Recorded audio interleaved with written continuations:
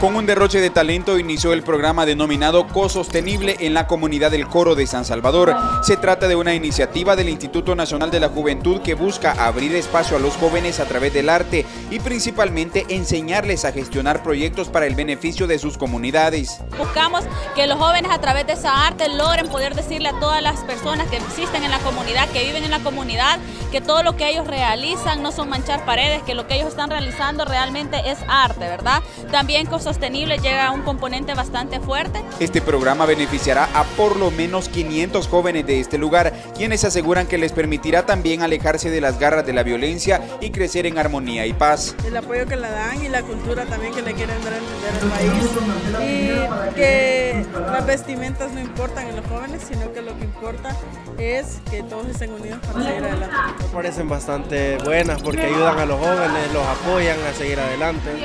Este, de mi parte yo soy artista y siempre me han apoyado, siempre me ayudan a seguir adelante. También se espera que este proyecto sirva para generar liderazgo entre los jóvenes. Si el programa Co-Sostenible tiene éxito acá en la comunidad del Coro, la directora del Injubi aseguró que será replicado en todo el país.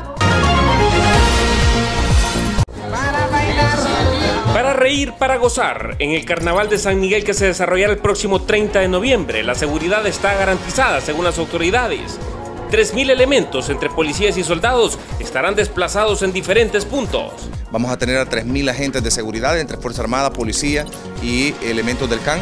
Eh, dentro de eso, cerca de 1.000 elementos van en agentes encubiertos, que a partir del 2015 cambié la modalidad en torno a eso porque da mucho más efectividad el que alguien ande encubierto, ¿verdad?, para poder disuadir cualquier hecho delictivo. Hemos estado en una operatividad durante todo el mes garantizando eh, la veda de armas garantizando también eh, alguna, algún nivel de control sobre algunos negocios, eh, centros de tolerancia que llamamos nosotros, bares y otro tipo de, de negocios. La Fuerza Armada también pondrá a disposición los medios aéreos. Va a proporcionar todos los recursos disponibles en la tercera zona, ya sea con personal terrestre, también con los medios aéreos de necesitarse, así como también contamos con un hospital en caso de ser necesario. El alcalde de San Miguel también brindó un anuncio muy importante. Durante el evento estarán prohibidos los envases de vidrio. Por primera vez en la historia no se permite andar un individuo tomando em, una cerveza en envase de vidrio. Eso nos, va, nos lleva a un toque de modernidad, pero nos lleva también a un elemento de de seguridad. Además habrá un plan vial que se desarrollará durante el desplazamiento de las carrozas. ¿Tienes problemas en las vías urinarias?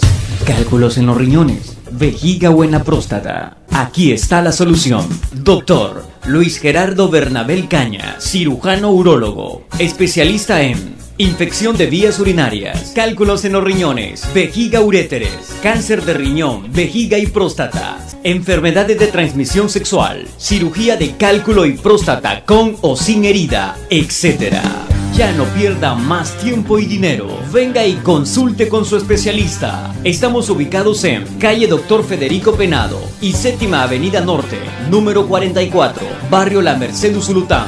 Llámenos 2624-7205.